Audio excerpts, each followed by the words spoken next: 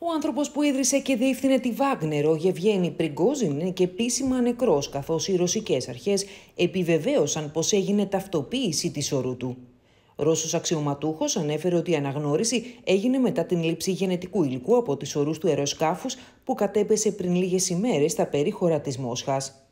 Η Επιτροπή Ερευνών ανέφερε ότι έγινε η επιβεβαίωση των στοιχείων όλων των σωρών και των 10 επιβενόντων στο Εμπραέ που κατέπεσε στις 25 Αυγούστου και ότι συμβαδίζει με τη λίστα του σχεδίου πτήσεως. Η δημοσίευση αναφέρει πως στο πλαίσιο της έρευνας για το αεροπορικό δυστύχημα στην περιοχή Τβέρ ολοκληρώθηκαν οι μοριακές γενετικές εξετάσεις. Με βάση τα αποτελέσματά τους διαπιστώθηκαν οι ταυτότητες και των 10 νεκρών που αντιστοιχούν στον κατάλογο που αναφέρεται στο φύλλο πτήσης.